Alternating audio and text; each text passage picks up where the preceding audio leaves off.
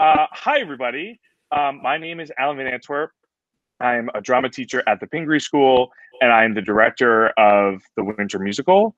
Um, and this is a live stream of our show and a discussion before with a bunch of really awesome seniors um, about the show and about their experience and all that stuff.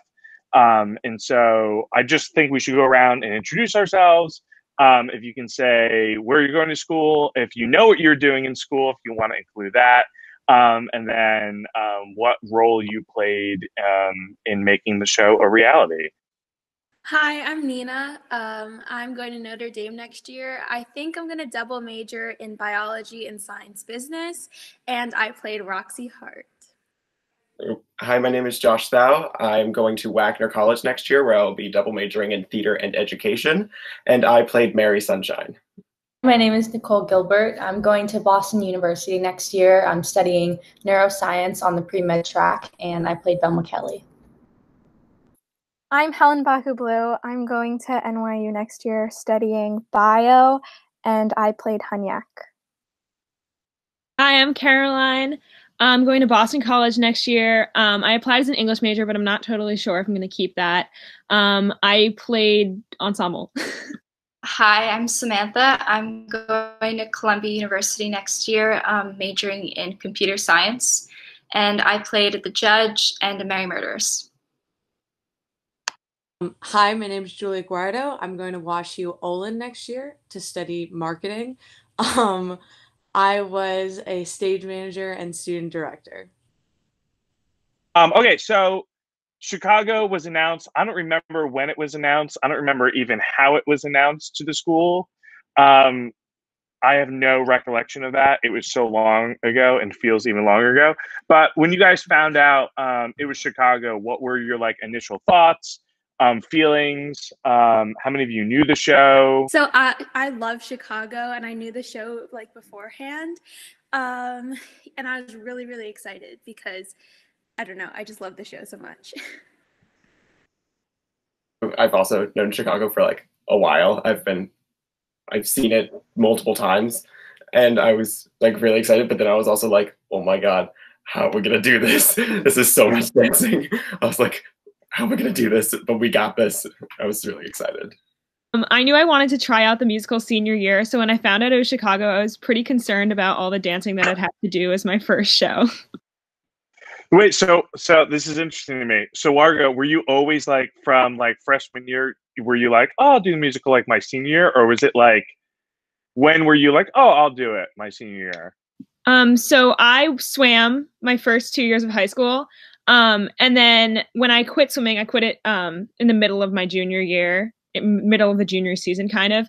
Um, I kind of knew the next year that I was gonna do something in the winter. I didn't know what it was gonna be, but then I figured that it would be fun to do the musical. My first thought when I heard it was Chicago was that I didn't really know a lot about it, but I knew that it was kind of a, a bit of a risque show, kind of like along the lines of Rent. And I guess that made me really excited. I actually had no idea what the show was at all, like period. Um, but you know, theater does run in my family. Uh, the one thing that my dad will tell you that he was, um, gosh, I think he played Oliver in Oliver Twist.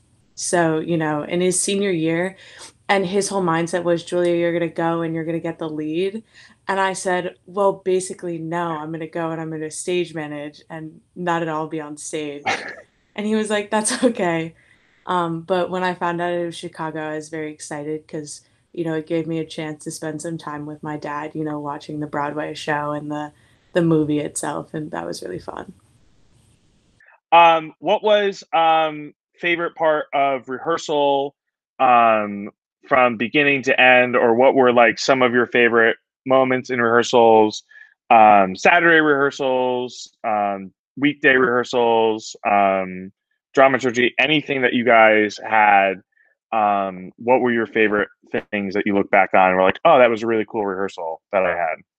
Um, my favorite part was the Saturday rehearsals where it was just like the leads, not not like saying because oh the ensemble wasn't there. It was just because we really just fooled around like a lot, even though we wow. did get like through the show, like the parts that we were supposed to, we just like had fun without like the stress of being like, oh my god, people are watching me. Oh my god, like I need to do this well. Well, I mean, we had that too, but like, Yeah. I enjoy Saturday rehearsal. Yeah, I Josh. Also, I also agree those Saturday rehearsals were really funny. And like one of my favorite stories of the Saturday rehearsals was that like we would run around and do like all the ensemble stuff. So like for all I care about is love.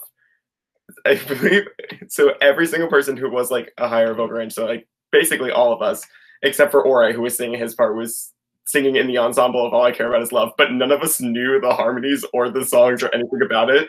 And Mr. Winston at the end of his, he just goes, None of you are singing in this song, right? We were like, No. He goes, Good. And I was we all just got like hit, but that was Amazing. a funny moment for me. Also that one time I forgot what we built. We built something and then threw like an old shoe into it. Yeah, It was Wait, a tower yeah. of. Power of uh, red Solo cups. I still had that video on my phone. I was cleaning out, you know, in the middle of pandemic, like what else do you do? I was like cleaning out like my photo albums and like deleting old pictures and stuff. And like I came across that video and I cracked up um, the cup tower and then like everyone's pure joy at smashing at the end. Um, you know, it's definitely one of those a little bit more stressful days. Um, you know, we were all a little bit more stressed, and Van was definitely stressed. And you know, he's stressed because um, he usually he sits back in his chair like this when he gets really stressed out. And the Hauser chairs you can really slouch in, so he was really slouching, and all of a sudden his um his Apple Watch just starts going off like crazy, and it's like you need to breathe like your heart rate is over 100 you need to breathe. And i was like i just like turned to him because i was sitting next to him i was like are you gonna handle that? Or and then we just like together we just like sat and we did a breathing exercise and i thought that was a really funny moment. Yeah, uh, my my impending heart attack is is something that I laugh at a lot. oh my god it was hilarious. Nicole, I call Noodle now because I think it was maybe the first dance rehearsal where we were doing all that jazz and like everyone was lifting Nicole up in the air. And like when you get lifted up like you like were like squirming back and forth like as they were like lifting you up because you were trying to get your like you're trying to get your balance. And um and Miss Wheeler said you can't be like a wet noodle. You have to be like a dry noodle. Like you have to go up like up like this and not like this. And it was like the perfect image. And i don't know why. I was just like i remember saying at the end of that rehearsal i was like i'm i'm calling you noodle from now on. So like that's just how it's going to be. Um that was a favorite moment. I say probably tech week rehearsals were some of my favorite, and obviously they're the most stressful rehearsals. Um, but it's really nice to see everything put together in the final week, and like, yeah, we have like little things to fix here and there, but um, I don't know. It's just, it's just really cool to just sit in the audience while all the other scenes are going on, and then see all of like the hard work that people have put together, and then um, I'll meet that. I'm sorry. Uh, yeah. yeah. i'm keeping all of that in personal favorite rehearsal, which I think only Nina was there for, which consisted of we were doing um, both reach for the gun, and I rehearsed in my heels every day so that Nina knows exactly what I'm talking about. I rehearsed in my heels every day so that I could get used to them because obviously I don't wear heels every single day. And I, when I do my first cross for it, I by mistake landed on like the side of my shoe instead of like the the flat part and my foot went directly out from underneath me and i was like half a foot away from the edge of the stage and i like almost like fell completely to the floor. And it's in the it's in the rehearsal video because they were taking a video of it and it's very if you can look up that video it's very funny.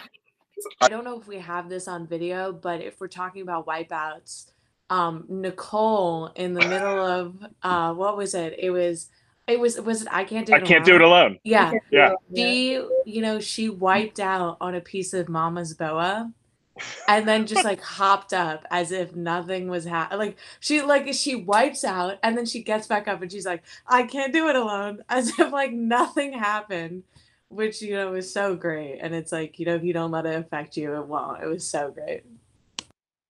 Point in when Velma takes a stand, I think it was during a rehearsal or maybe during the community performance that I hit someone with a chair. Yes. Wait, well, You You hit a Nika with a chair during like the You did. last rehearsal before the show. I think you almost tipped over the chair too. I think that was during the community performance. No, I remember it fell during one of the actual performances. I think it was a Saturday performance. Like the first Largo remembers. It's a fond memory for Caroline, apparently. Well, the mic also fell in one of them. There were a few. That was opening night, I think, Yep. wasn't it? That was opening night. The mic just like it was like up here, and then you just saw it slowly like slide down. Wasn't So, there like- one? oh, Sorry. Yeah, go no, go ahead. Wasn't there one with Ola where she like it was during a real show where the mic was literally just this tall, but she was still Well, yeah, singing that's- with it. Yeah, because when she put it down, when she put it down, it un it unlocked the thing because she threw it down, and then as she was singing, it just started lowering, and then by the time she got there, it was like at her knees, and like she had to like adjust. It was very funny. Me too. I think it was just like that one mic because I remember Julia Yes. before my song. She just like goes up to me and she goes, "Just for the record, the mic is gonna be like at your belly button. Just go with it." So I'm like squatting at the mic, like just trying my best to do. The gun also broke one time before a show. Yes, I think that held the curtain, didn't it? It did. Yeah, it did. So what? Um, but what do you think the favorite or your favorite part of the show is, or what do you think the best part of the show is?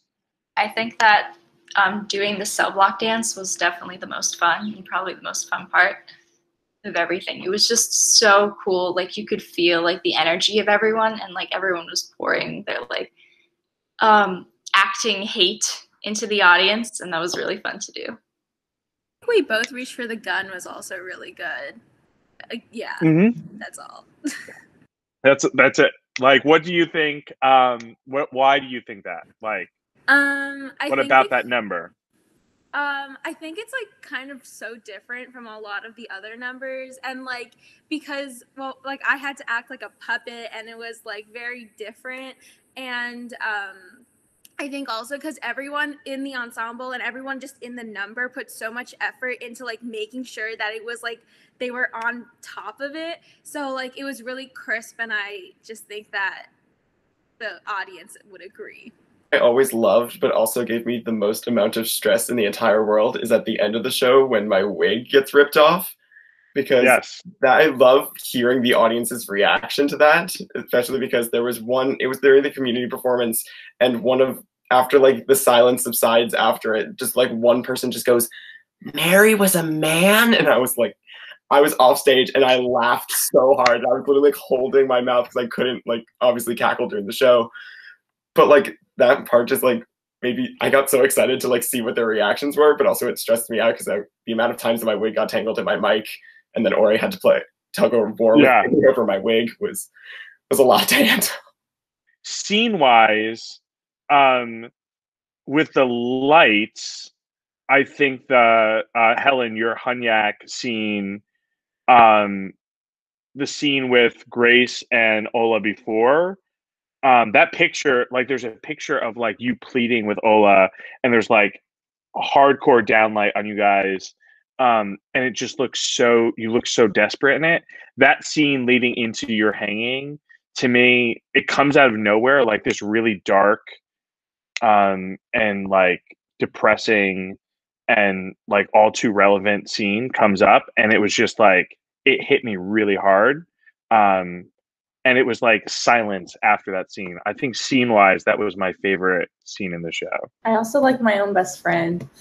Nina and I had so many rehearsals on it, and I think uh, most of the time, like eighty percent of the time, we couldn't fin- finish that going through the actual song because we couldn't stop laughing and cracking up when we made eye contact during the song. So it was it was a really big thing for us to be able to contain ourselves during the actual performances. There was also that one rehearsal for my own best friend where like Van wanted us to like drag the mic and Nicole Yes. like pulled it and she went like like a star and I and then I pulled it and it was like it looks like you're dragging a broom. so like but that ended up not being in the show because the mics are really loud. So yeah. yeah. Okay, advice to underclassmen slash new students who might be interested in doing the musical. don't be afraid to step out of your comfort zone during an audition because this type of like this type of musical is definitely not something that would match my personality and per- like in reality like i'm definitely not the type of person to step out there and be someone who i'm not so it was it was hard to do that but you gain so much experience from it and you begin to realize how much you're capable of and you know you learn a lot about yourself during the process. And like regardless of the role that you get it's a really really good experience.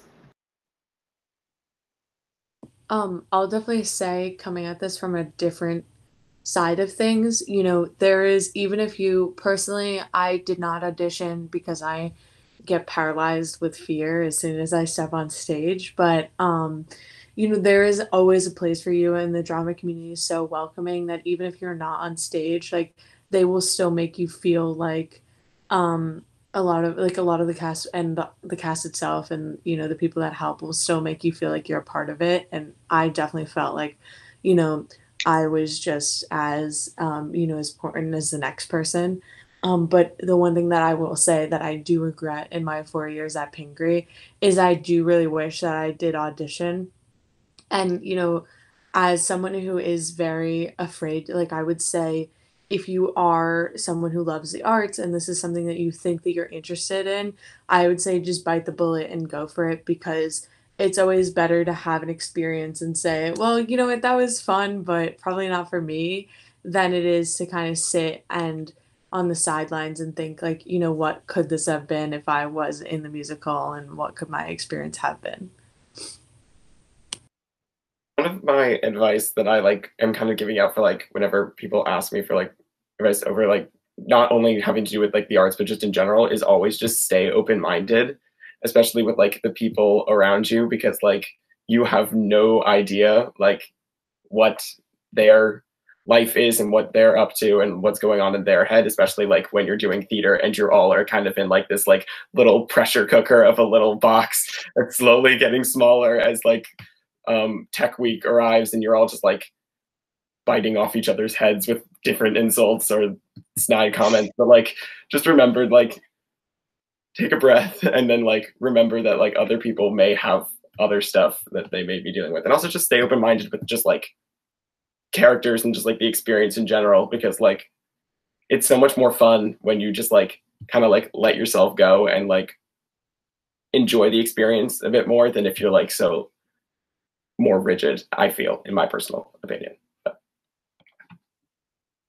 I feel like for auditions, you really, really, really have to prepare because, like, you want to be like super comfortable during your audition because you don't want to like you just want to be fully in it and like show your put your best foot forward i think that's the saying and yeah I, that's the one like thing i would say Is there another show that you were like, oh, I wish we could have done that? Like, what musical or show would you have wanted to do? kind of glad we did chicago i don't think i can't think of anything else. Like the year before i was talking to isabel devito and i was like i was telling her i was really hoping that we'd do chicago the following year and i didn't think it would be happening at all but it happened. I didn't have anything else in mind though. Honestly, I'm kind of glad with all the shows that happened throughout like the four years I went to Pingry because they were all different in in specific ways.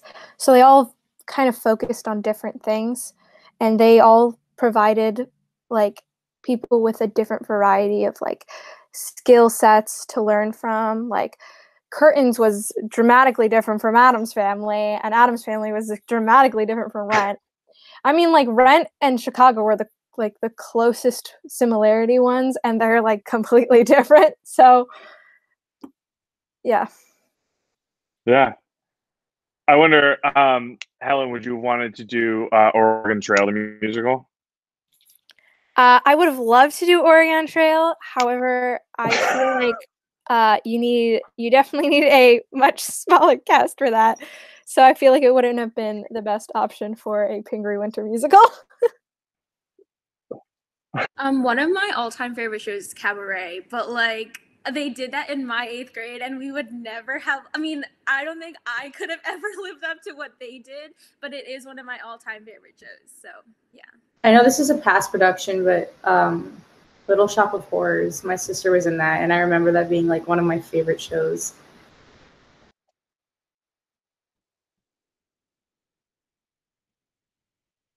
Any other And, ones? Dirt and Dirty Yep. Rotten, sorry, and Dirty Rotten Scoundrels. That was really good. I was just Go gonna say that they should have uh, brought back uh, Flat Stanley. Flat Stanley. Yes. Who was the tra- was were you the travel agent or was I'm I was to remember. the Helen was the travel agent. Shout out to Helen. Helen was I was the mail woman.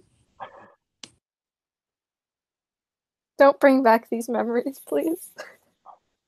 I'm gonna now go through the Pingry archives, and as you just brought up Flat Stanley musical, I'm gonna find um, pictures or video from that, and I will post that as you're talking about it um, on there. Um, Samantha was in Flat Oh. Stanley. Let's let's remember this as well. who Oh, was Samantha? Samantha was whose mother was she? I can't remember. She was one of the mothers. I can't remember if it was Stanley's or I don't know. Caroline, were played you in Flat Flat Stanley? Stanley? Flat. oh Um, wait, there was two Stanleys. Ola It's played the tall unflat- Stanley. and Flat Stanley. No, remember Flat that Stanley. Flat. was Ola. yeah, Flat the and other Stanley. Was Ola. uh, unflattened Stanley. I think was Caroline Guest. Samantha, you, we heard that you played Stanley's mother in Flat Stanley the musical. Is that true? Yeah, it was the highlight of my drama experience, of course. Fifth grade if really peaked there. you look back fondly, Yeah. it was prepared you for it prepared you for a Mary Murderess and the judge. Yeah. I, when you said memories, I think we should have done cats this year. Just you know. Did anyone That would've watch? There was like a cats, like a live stream recording or something, like a few Saturdays ago that I watched. It was I, like I think Is did this Seth, the? was that Uh, the one that Seth Rogen was like live tweeting as he was watching it?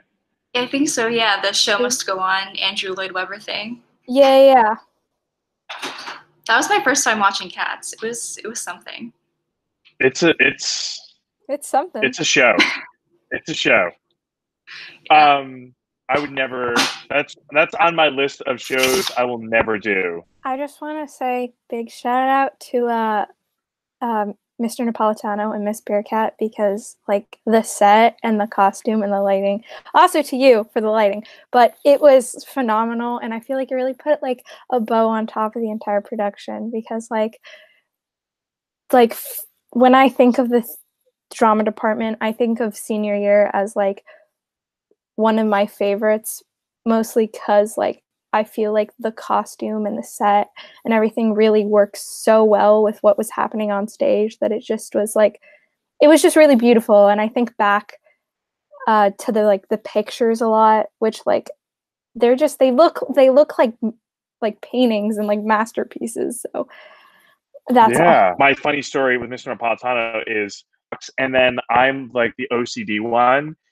Um, I drew five completely different looking sets um, that I like thought of um, for Chicago, and I kept putting them in post-it notes on his desk. And he made three completely different models, and then he took the best of all of the models that we talked about and then created one set based and the set that you had was the culmination of like three completely different models that he created um, and it was like better than anything i could have imagined it was amazing and even the small things like um like the projection stuff that was so subtle like that got added in like on opening night was like amazing. Um, yeah, that's awesome. Any Can other just- laughs?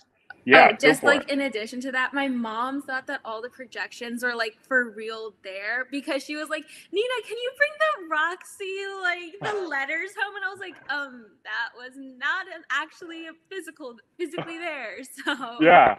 yeah, I think like just like a big personally like a big thank you to the drama department as a whole and like you especially because I know that there was a lot of like craziness that went through on this production. You know, it was my first year of being a stage manager, so like the first three weeks I had no idea what I was doing at all.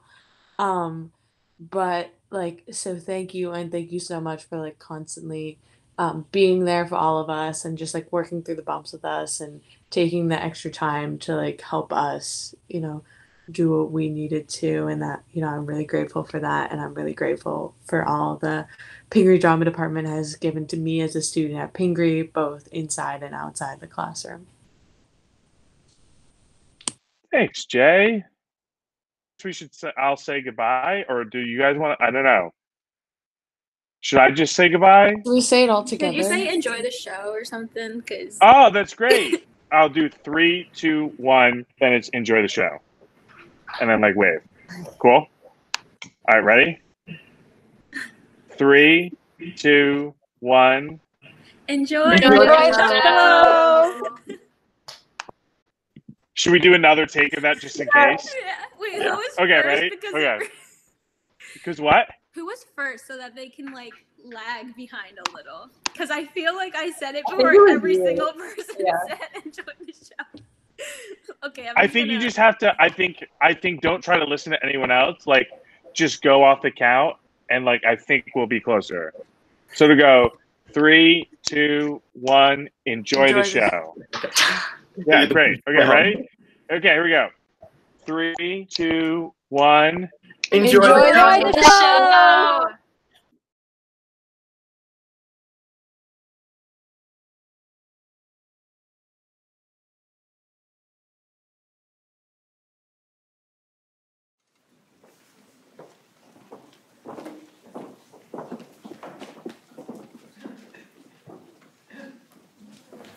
Welcome. Ladies and gentlemen, you are about to see a story of murder, greed, corruption, exploitation, adultery, and treachery. All of those things we hold very near and dear to our hearts. Thank you. Eight.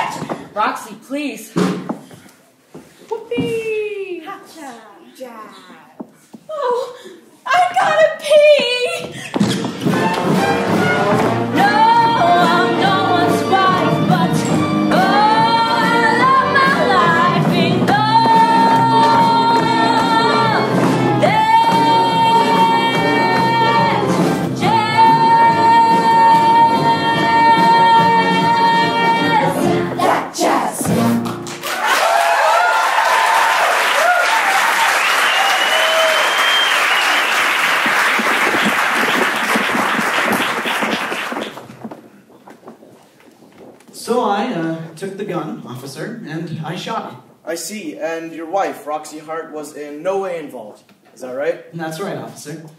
Aren't you the cheerful little murderer? Murderer? Why, just last week the jury thanked a man for shooting a burglar. That's all right. Sign right here, Mr. Hart. Freely and gladly. Freely and gladly. For her first number, Miss Roxie Hart would like to sing a song of love and devotion dedicated to her dear husband,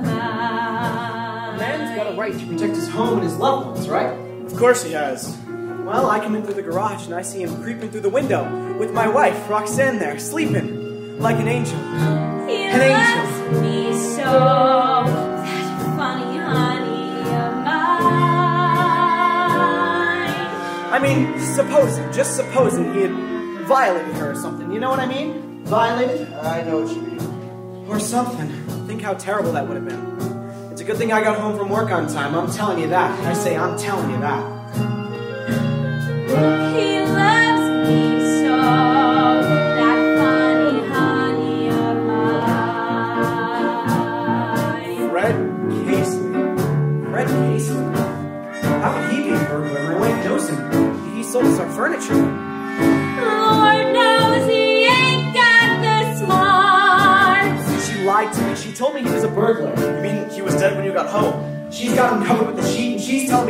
rock and roll story about a burglar and how I ought to say I did because I was sure to get off.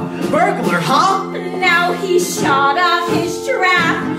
I can't stand that sap. And I look at it that shit little tramp. So she's two-timing me, huh? Just Watching it just go sweet for all I care. What a half Boy, I'm out there working my butt off 14 hours a day. She's out here munching on bonbons and jazz this time she pushed me too far. That little chisel. Boy, what a sap I was!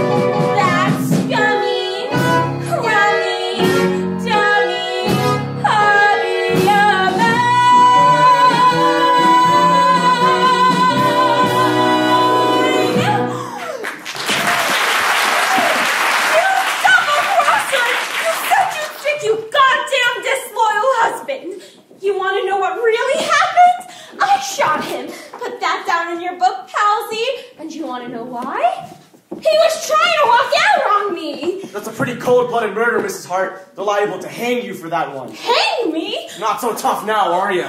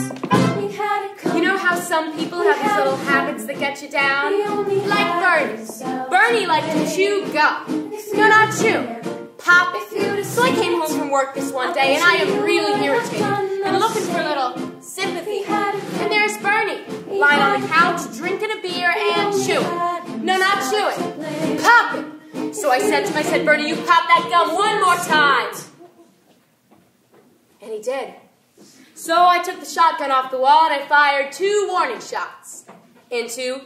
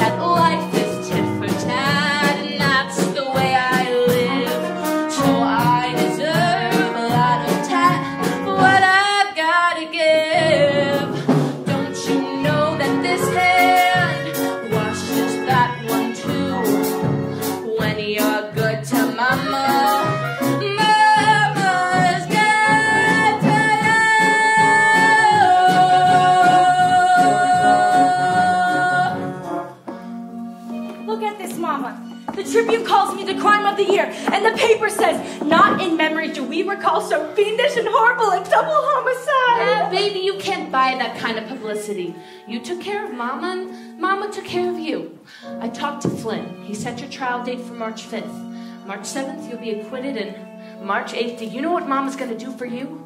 She's gonna start you on a vaudeville tour. I've been on a lot of vaudeville tours, Mama.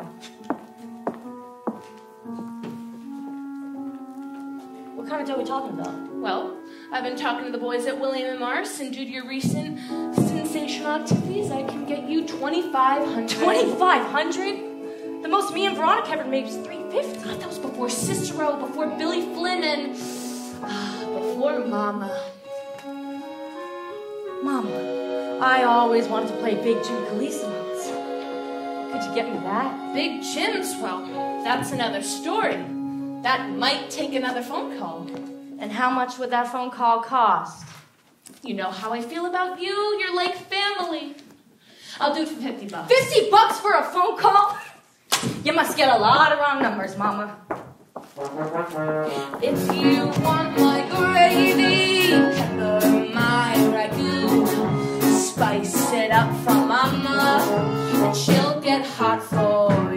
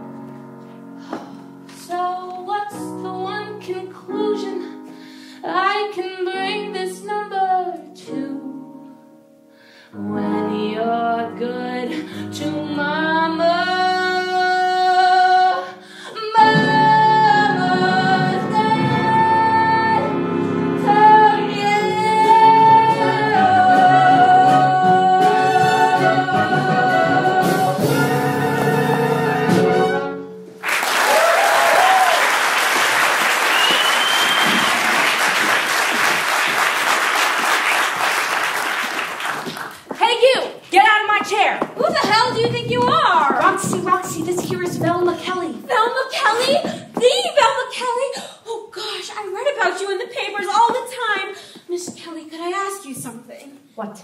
The assistant district attorney, Mr. Harrison, said what I'd done was a hanging case, and he's prepared to ask the maximum penalty. I sure would appreciate some advice. Look, I don't give no advice, and I don't take no advice. You're a perfect stranger to me, and let's keep it that way. Thanks a lot. You're welcome. Roxie, relax. In this town, murder is a form of entertainment. Besides, in 47 years, Cook County ain't never hung a woman yet, so it's 47 to 1. They won't hang you. There's always first.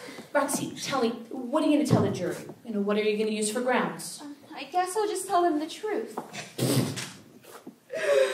Ah, telling the jury the truth. That's real stupid. Oh, Jesus, Mary and Joseph, what am I gonna do? Yeah, you're talking to the wrong people. You see, it's this way, dearie. Murder is like divorce. Okay, the reason don't count. It's it's the grounds that matter. Temporary insanity, self-defense. Yeah, um, what's your grounds? My grounds are that I didn't do it. So who did? Well, I'm sure I don't know. I passed out completely. Oh, yeah, I'm sure I didn't do it. I have the tenderest heart in the world, don't I, Mama? You bet your ass you have, Velma. Is being drunk grounds? Just ask your lawyer. I ain't got a lawyer. Well, as they say in Southampton, you are shit out of luck, my dear. So that's Velma Kelly. Ain't she something? She wears nothing but black narcissus perfume and never makes her own bed. I take care of that for her. You make her bed? Well, not exactly. You see, Velma pays me five bucks a week. I give the Hungarian 50 cents and she does it. Hey, Kathleen Woniak, eat vil, dotier, Roxie Hart, amut. Not guilty. Yeah, that's all she ever says. Anyways, you know who's defending Velma, don't you? Who? Mr. Billy Flynn, best criminal lawyer in all Chicago, that's who. How do you get Billy Flynn? First, you give me a $100 and then I make a phone call. I see, and how much does he get? $5,000. $5,000? I'd be happy to make that phone call for you, dearie. Five thousand dollars! Now where in hell am I gonna get five thousand dollars? Ladies and gentlemen,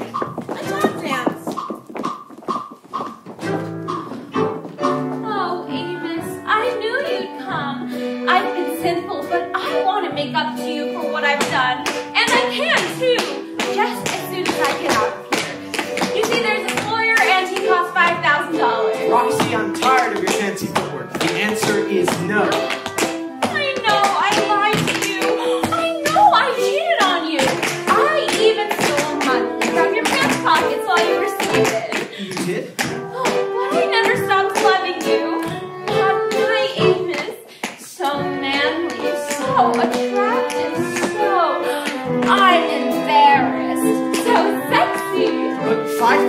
5,000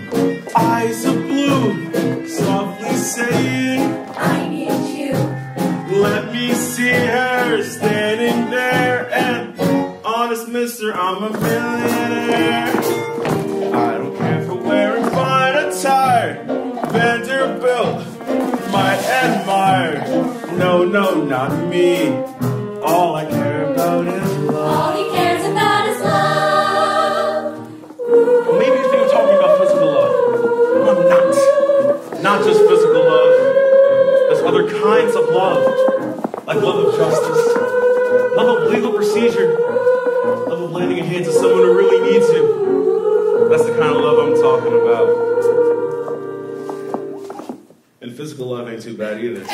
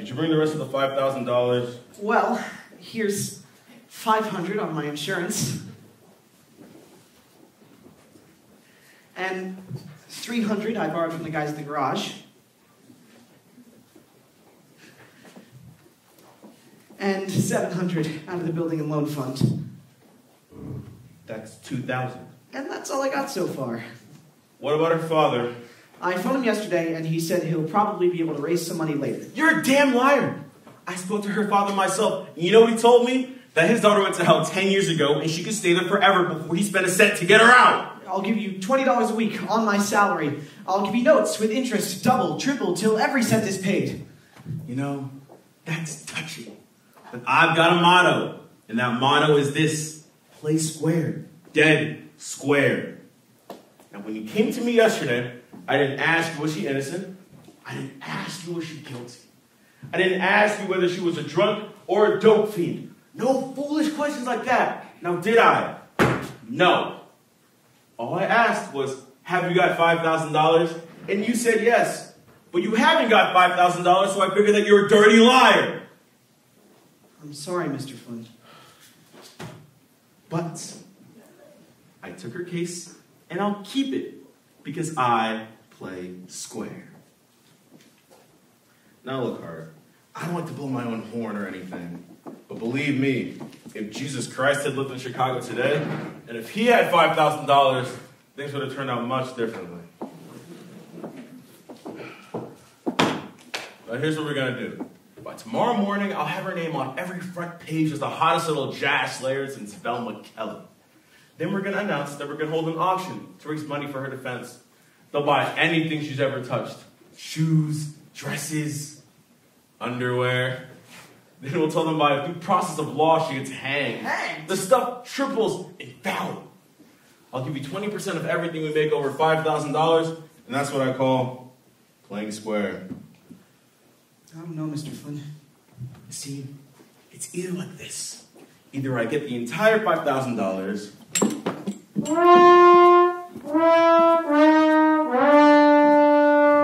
or you'll rot in jail till I bring you to trial.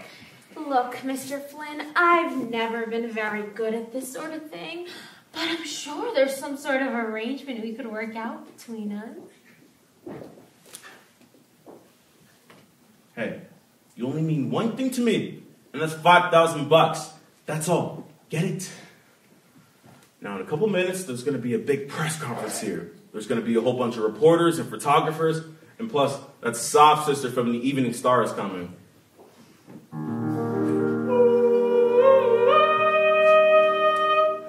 Figure we'll have any trouble with her. She'll swallow hook, line, and sinker.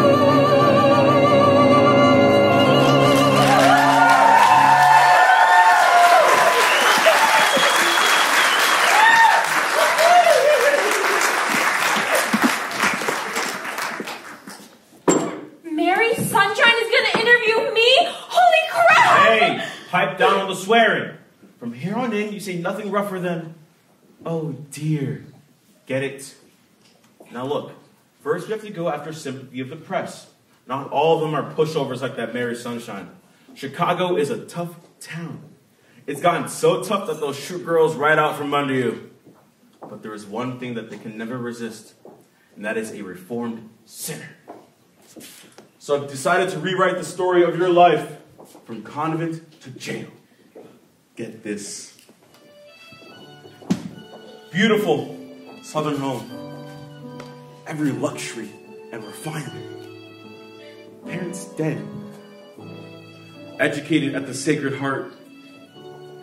Fortune swept away. A runaway marriage. Young, lovely girl bewildered by what's happened here. Young, full of life, lonely. You were caught up by the mad whirl of a great city. Jazz, cabarets, liquor. Sit down.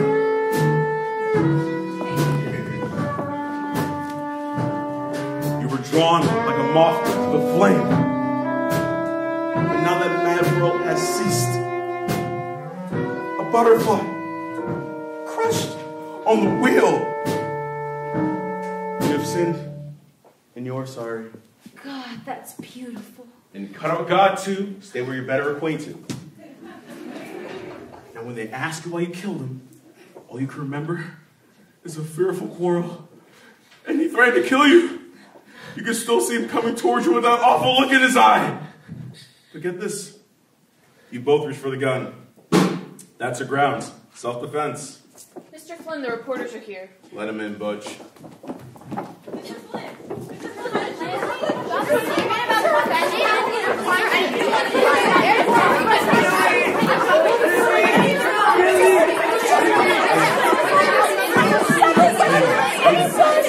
Ladies, ladies, gentlemen. Miss Sunshine.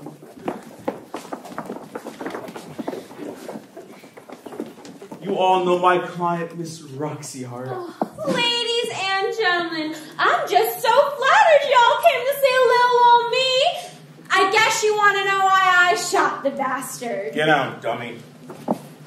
Mr. Billy Flynn sings the press conference rag. Notice how his mouth never moves. Almost. Where'd you come from? Mississippi, And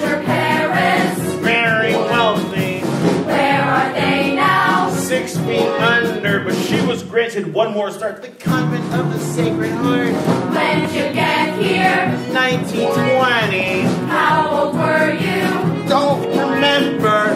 Then what happened? I met Amos, and he stole my heart away, convinced me to elope one day. A convent girl, a runaway marriage, oh, it's too terrible. Poor, poor dear. Who's Fred Casely? My ex-boyfriend, Why'd you shoot him? I was leaving Was he angry?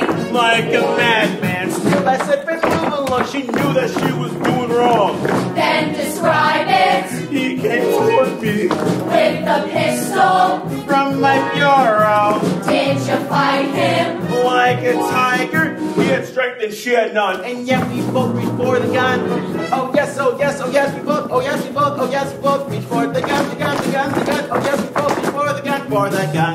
Oh yes, oh yes, oh yes, they both, oh yes, they both, oh yes, they both reach for the gun, the gun, the gun, the gun. Oh yes, they both reach for the gun, for the gun. Understandable, understandable. Yes, it's perfectly understandable, comprehensible, comprehensible. Not a bit reprehensible. It's so defensible. How you feeling? Very frightened. Are you sorry? Are you kidding? What's your statement? All I say is, though my choo-choo jumped the track, I'd give my life to bring him back. Stay away from jazz and liquor, and the man who played for fun. That's the thought that came upon me when we both before the gun. Understandable, understandable. Yes, it's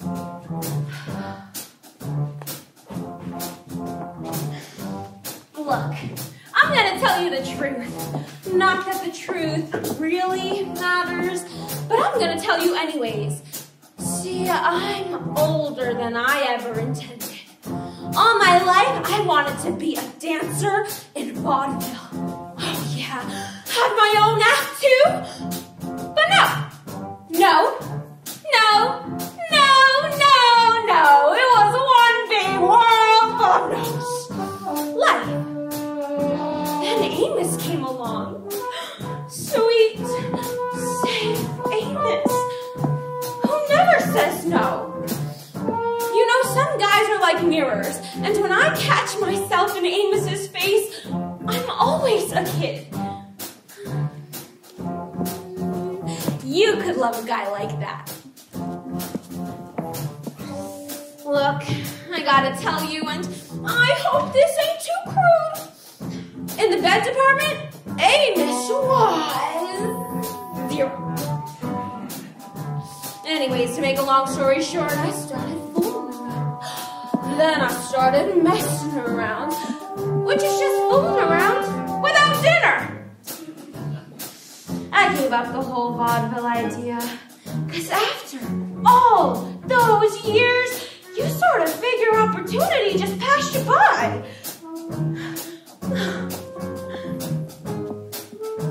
Oh, but it ain't. Oh, no, no, no, but it ain't. If this Flynn guy gets me off and with all of this publicity, I could still get into vaudeville. I could still have my own now? I got me a world full of yes!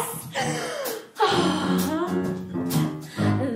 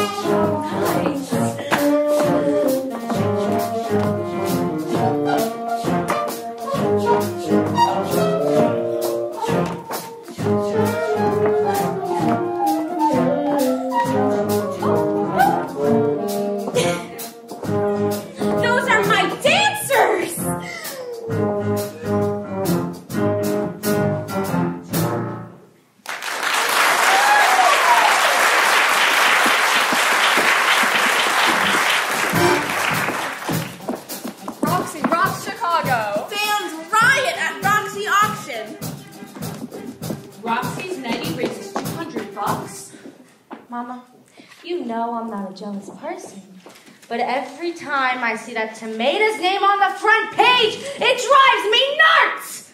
Baby, I got some bad news. What do you mean? I mean the tour. It's canceled. Canceled? Your name hasn't been in the papers for a long time. I've been getting calls from the boys at William Marsh all day long. We don't want her. She's washed up. She's a bum. Do you know how it hurts Mama to hear that about somebody she cares for? Sure. All you hear about today is that Hart kid. Ugh. Hey, Mama, I've got an idea. Suppose I talk Hart into doing that sister act with me. Ladies and gentlemen, Miss Velma Kelly in an act of desperation.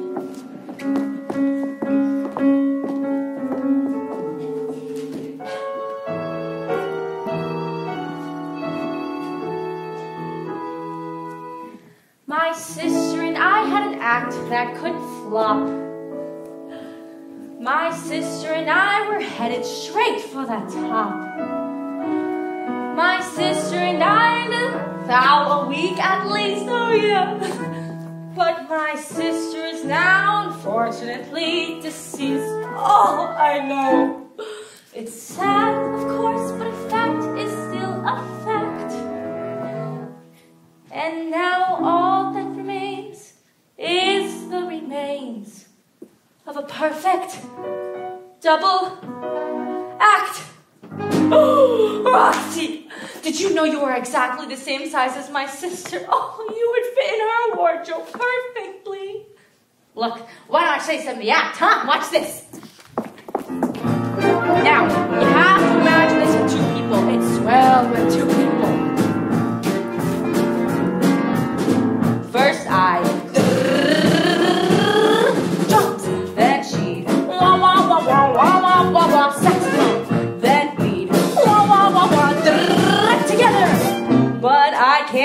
Alone. Then she, then I, then we. But I can't do it alone. She'd say, What's your sister like? I'd say, Man, yuck, yuck, yuck. She'd say, You're the cat's meow. Then we'd wow, proud again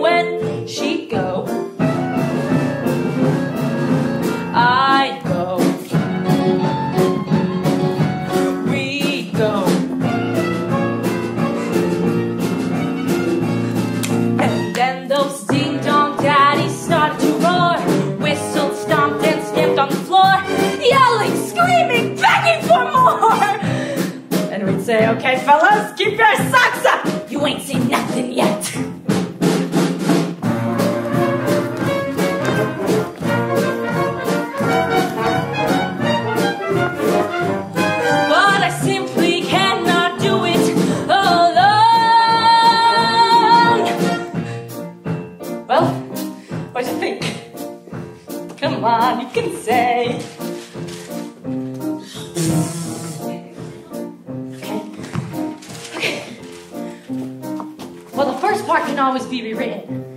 second part. Oh, the second part is really nifty. Then she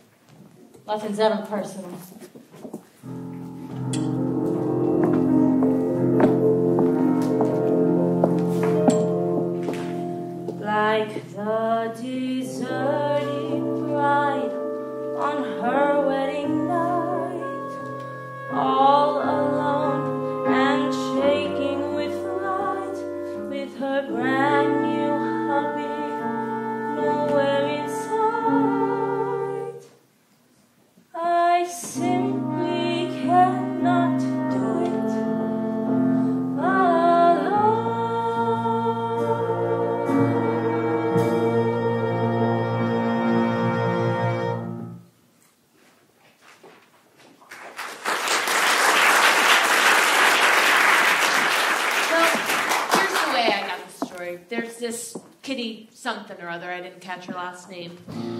Anyway, she's some sort of heiress, filtering grapefruits, pineapples, something like that. Well, she's playing house in this north side apartment with this guy named Harry. Harry spends all his time in bed. You know, a real mattress dancer. Well, last night this kitty dame comes home. Harry's already in bed. She goes to get changed, and when she returns, she notices something rather odd. Very odd. Extremely odd. Puzzled, she disappears for a moment.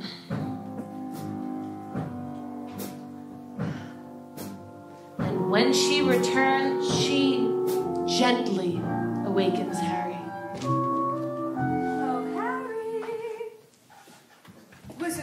Wait, tell you what you see.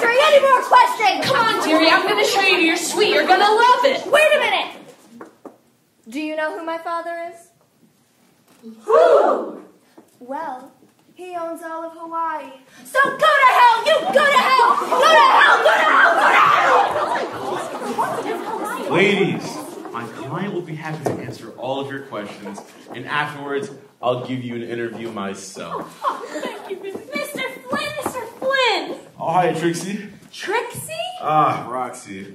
Boy, what a hellion, huh? And a socialite, too. Her mother owns all the pineapples in Hawaii. What the hell do I care about pineapples? Did you get my trial date? Take it easy, kid. I'll get to it. Listen, Flynn, there's a couple things I'd like to discuss about my trial, too. Oh, hi, Obama. First things first, honey. Miss Sunshine, can I call you Mary? Oh my god. She's from Old Pineapple Money. It's a gripping story, really.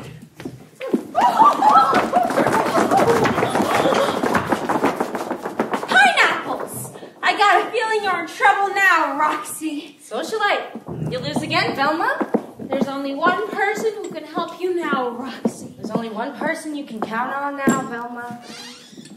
And now, Miss Roxie Hart and Miss Velma Teller sing a song of unrelenting determination and unmitigated ego.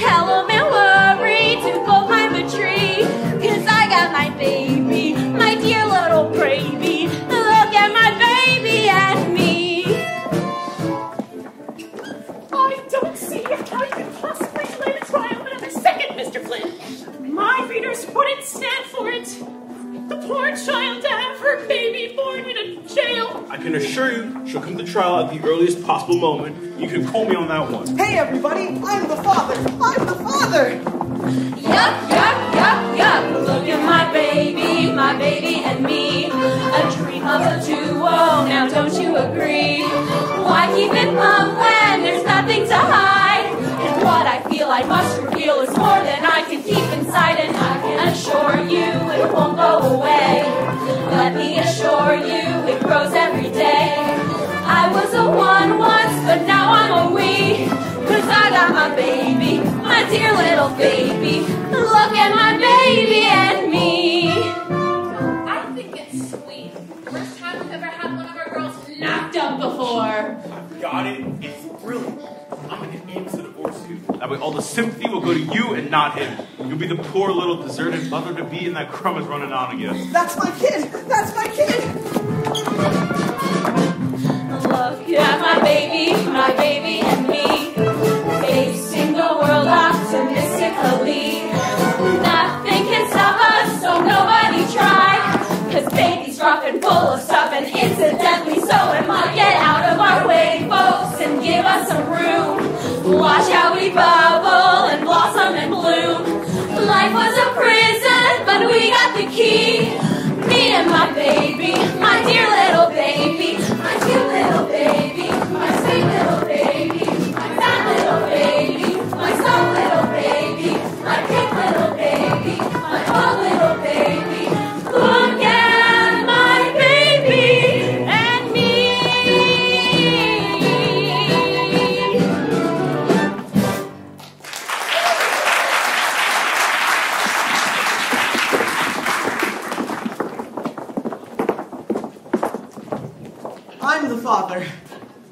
Papa!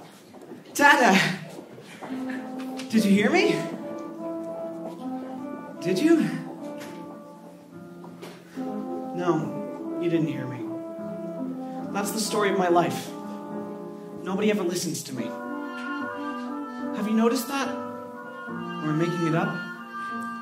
Nobody ever knows I'm around. Nobody. Ever. Not even my parents noticed me. One day I went to school, and when I came home, they'd moved.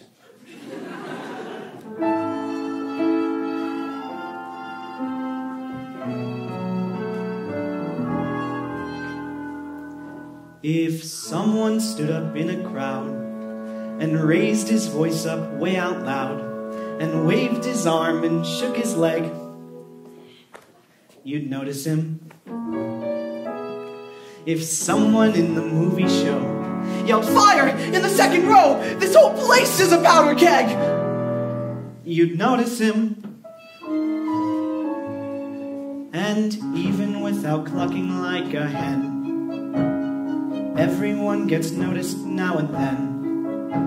Unless, of course, that personage should be invisible, inconsequential, me. Cellophane, Mr. Cellophane, should have been my name. Mr. Cellophane, cause you can look right through me, walk right by me, and never know I'm there. I tell ya, Cellophane, Mr. Cellophane, should have been my name. Mr. Cellophane, cause you can look right through me, walk right by me, and never know I'm there. Well, hello, Andy. Amos. My name's Amos.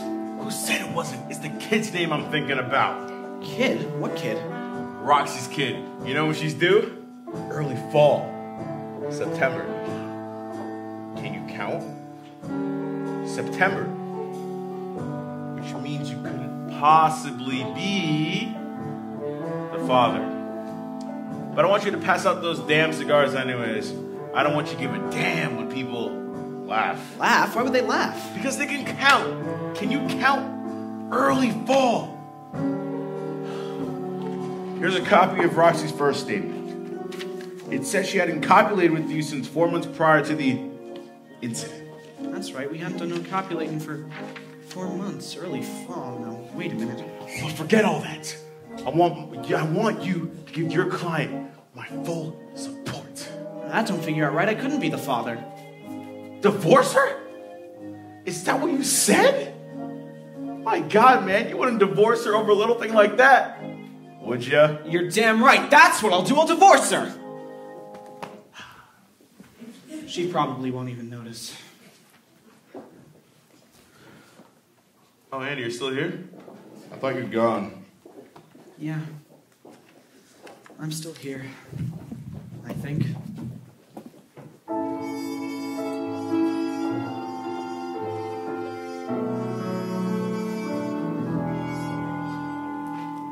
Suppose you was a little cat residing in a person's flat who fed you fish and scratched your ears. You'd notice him.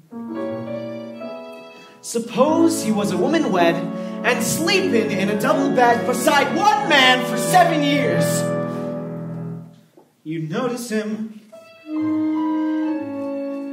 A human being's made of more than air. With all that bulk, you're bound to see him there.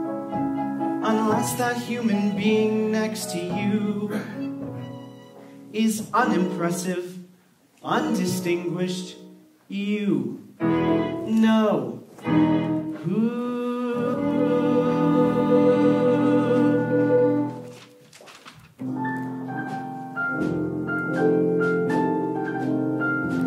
Should have been my name, Mr. Cellophane, cause you can look right through me, walk right by me, and never know I'm there. I tell ya, cellophane, Mr. Cellophane, should have been my name, Mr. Cellophane,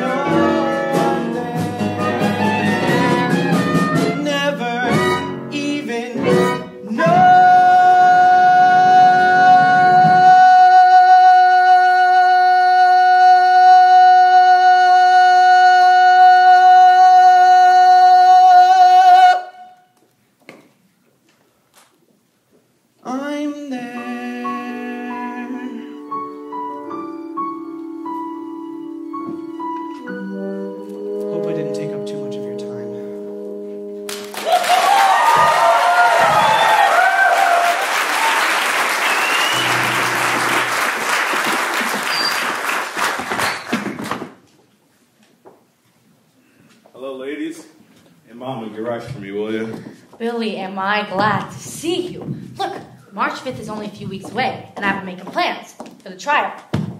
Silver shoes with rhinestone buckles. Look, kid, your trial date's been set back. What? Only a month. I had to, sweetie.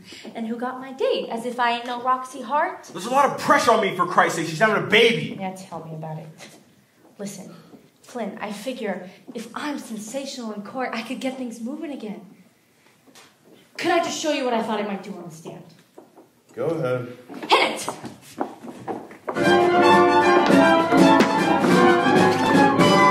Well, when I first got on the stand, I thought I'd take a peek at the jury. And then I thought I'd cross my legs like this. Then, when Harrison cross examines me, I thought I'd give him this. But if he yells at me, I thought I'd tremble like this. Oh no,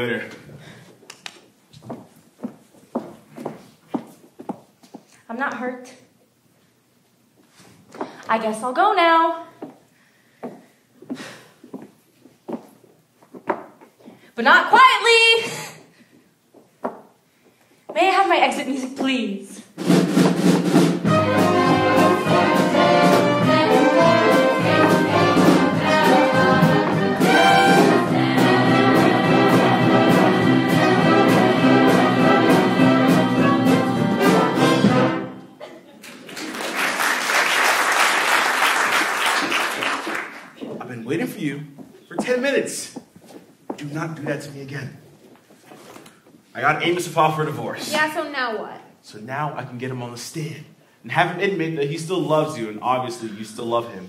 And then the jury will be falling all over themselves to play Cupid to get you guys back together. Smart, huh? Smart. Huh. And another thing. And another thing? When Amos is on the stand, I want you to be knitting a baby garment. I don't know how to knit. Then learn. I am sick of everyone treating me like some dumb, common criminal. But you are some dumb, common criminal. That's better than being a greasy lawyer who's out for all he can steal. So I guess you can appear in court without me too, huh? Maybe I could. Just read the morning papers, Palsy. They love me. Wise up, kid. They love you a lot more if you were hanged. You know why? Because it would sell more paper. You're fired. I quit. Any lawyer in this town would die to have my case. You're a phony celebrity, kid. In a couple weeks, nobody will even know who you are. And not Chicago. Yeah? We'll just see about that. No, no, no, no. And I want my five grand back too. No, no, no.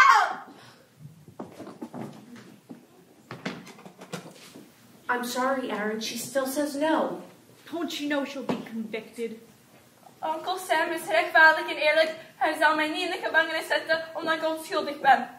She says Uncle Sam is fair and just and won't throw her in prison because she didn't do anything wrong. Look, Aaron, I think she's telling the truth. What the hell does innocence have to do with it? Look, Mrs. Morton, This is a court appointed thing. I don't get anything out of this. Nothing. What do you want from me? I've done my best. Not guilty.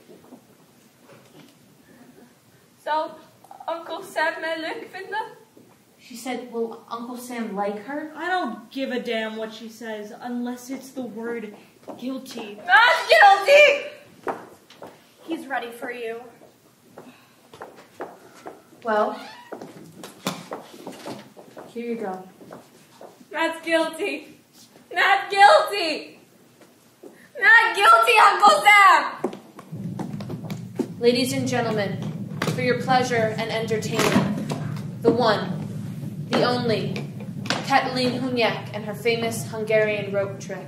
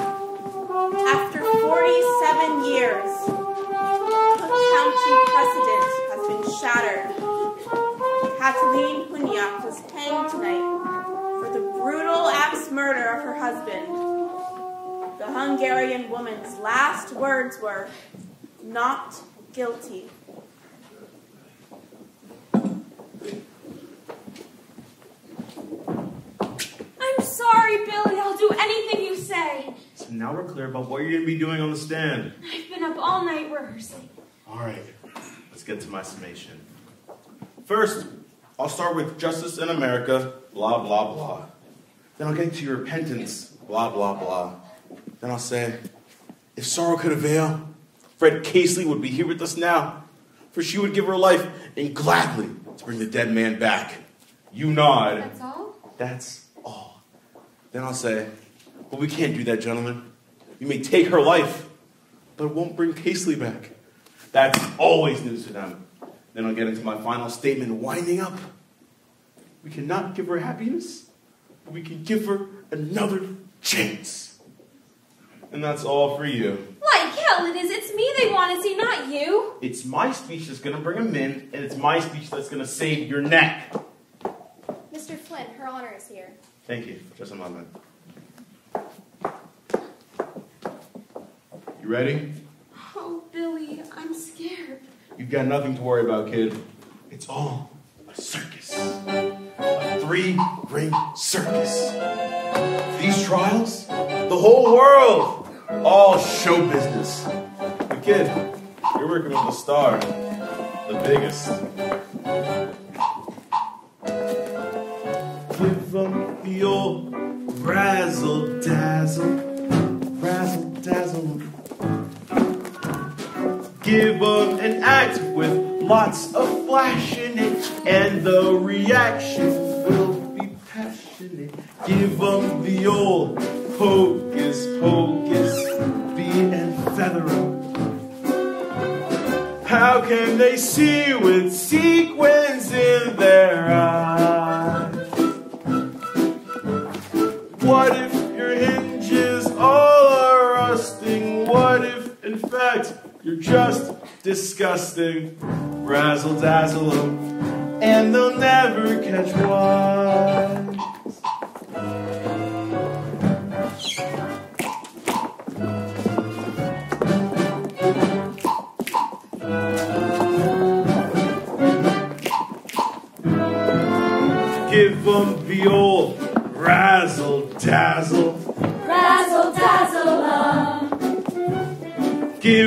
A show that's so splendiferous. Row after row will grow vociferous. Give them the old flim flam Flummox, fool and fracture.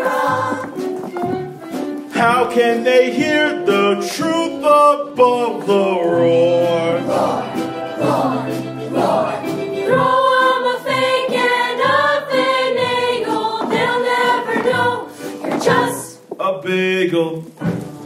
dazzle and they'll beg you for more.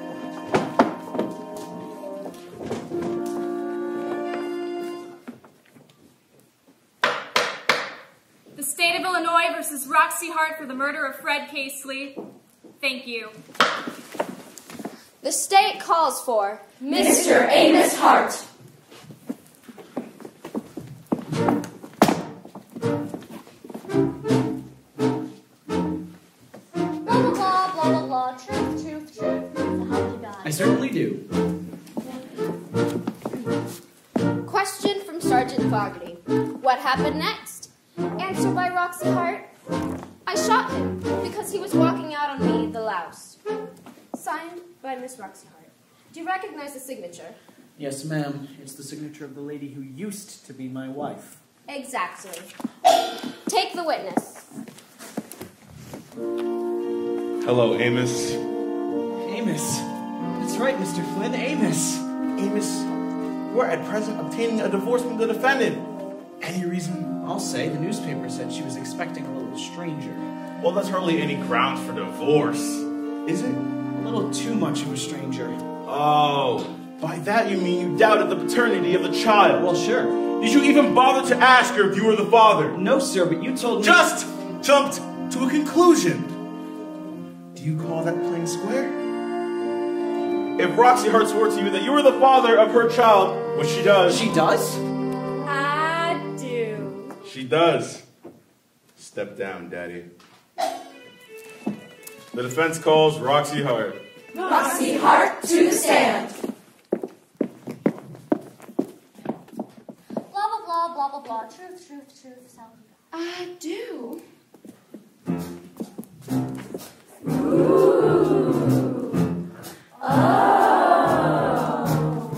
Ah. What's your name? Roxie. Roxie, I hear a statement in which you admit having illicit relations with the deceased Fred Casely. Is this statement true or false? I'm afraid that's true. You're an honest girl, Roxie. When did you first meet Fred Casely? When he sold Amos and me our furniture. Also, he was a regular patron at the nightclub where I was a member of the chorus. And your personal relationship with him, when did that begin? When I permitted him to drive me home one night. Oh, he seems like such a fine gentleman. Yet you were married, Mrs. Hart. I know, and I don't think I would have gone with him if me and Mr. Hart hadn't quarreled that very morning. Quarreled? About what? Oh, Amos, I don't want to work in your cheap Southside nightclub. yeah. Yeah. Yes. And I don't like you working those long hours at the garage either. Oh, sure, sure. Yes. Oh, Amos, I want a real home and a child. Fat chance. So you drifted into this illicit relationship with Fred Casely because you were unhappy at home. Most unhappy. I love you, honey. I love you. Yet you do respect the sacredness of the marriage vow. Yes, sir. So why didn't you stop this affair with Casely? I tried to, but Mr. Casely, he'd plead and he'd say, I can't live without you. I can't live without you. I can't live without you. I love you, honey. I love you. I was being torn apart. Roxie Hart, the state has accused you of the murder of Fred Casely. Are you guilty or not guilty? Not guilty. Not guilty. Oh, I killed him, yes, but I am not a criminal. There, there. Roxie, do you recall the night of February 14th? Yes. And tell the jury in your own way the happenings of that night. Well, it was after work about 2 a.m. and I stopped at an all-night grocery store to pick up some baking powder to make cupcakes for my Amos. Oh, Amos sure loves my cupcakes. And then I went right home. I was getting ready for bed when suddenly the doorbell rang.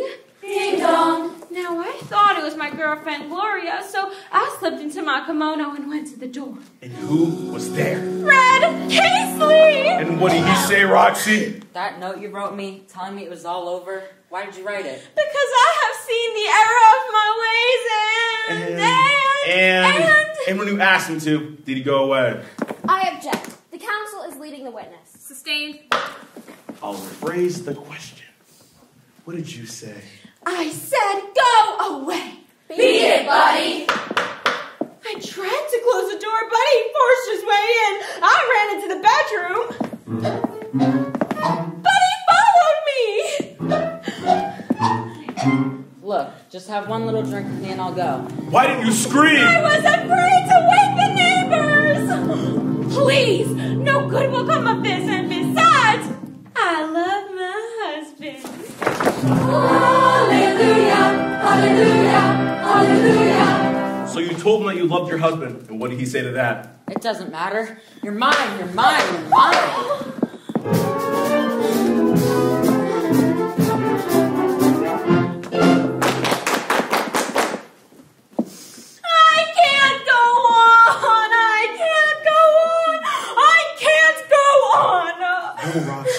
You must tell the jury everything. They have a right to know. Okay.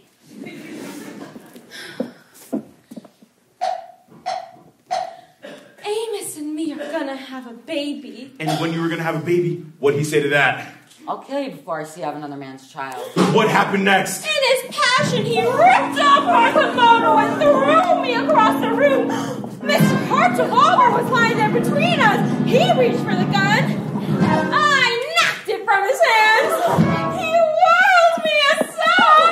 And then? And then we both reached for the gun. But I got it first. Hooray! And then he came towards me with that funny look in his eyes. Well, I'll kill you. Do you think he meant to kill you? Yes, sir. So it was his life or yours? Not just mine. Aww. So I closed my eyes and shut. Roxie, please. Roxie. Hey. In defense of your life.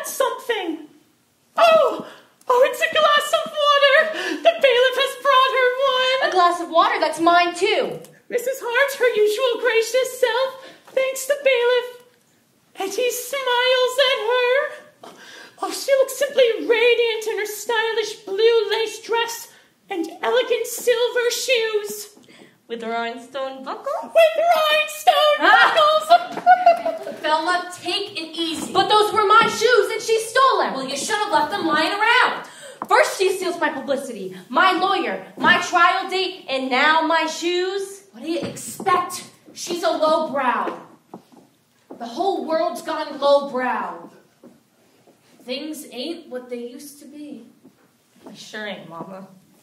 It's all gone. The final day of the trial of Roxie Hart has come. A hush has fallen over the courtroom as Mr. Flynn prepares his summation to the jury. The next voice you will hear is that of Billy Flynn. Champion of the downtrodden.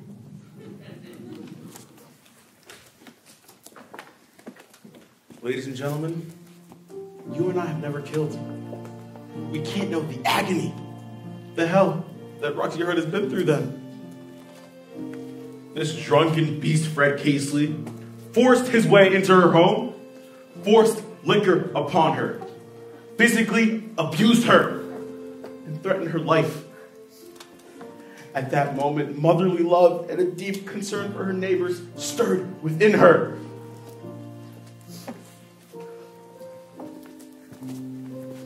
She shot him. We don't deny it. But she has prayed to God for forgiveness for what she has done. You may take her life, but that won't bring Casely back. Look, look at this frail figure. My God, hasn't she been punished enough? We cannot give her happiness, but we can give her another chance. You've heard my colleagues call her temptress, call her adulteress, call her murderess. But despite what the prosecution says, things are not always what they appear to be.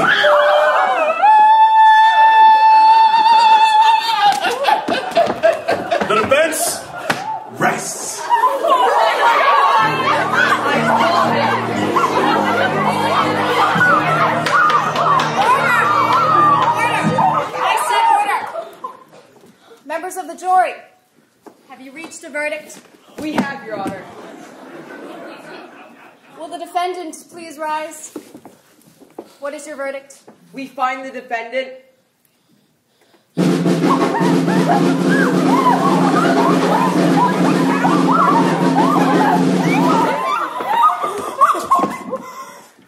You should see what's going on out there. There was this divorce action, and this babe shot her husband, his mother, and the defense attorney. Oh, there's blood all over the wall. Oh, it's terrible. But what a story! I'm a man. I'm Roxie Hart! Don't you want my picture? What the hell was that? You were found not guilty. That's what happened. Who the hell cares about that? I saved your life. Where where are all the photographers, the reporters, the publicity? I was counting on that. You know, your gratitude is overwhelming. But I was only in it for the money anyway. Yeah, you get your five thousand dollars and I wind up with nothing. You're a free woman, Miss Roxie Hart. And God save Illinois. My exit music, please.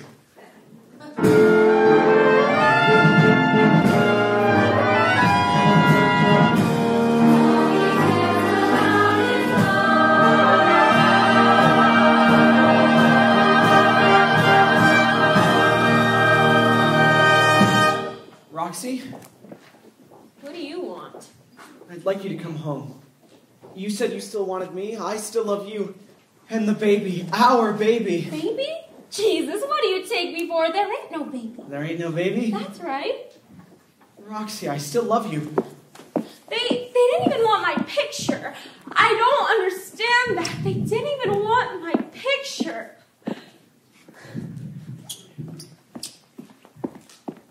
My exit music, please.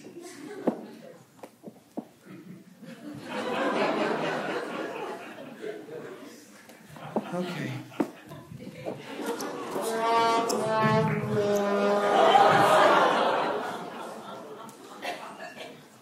Gone. It's all gone.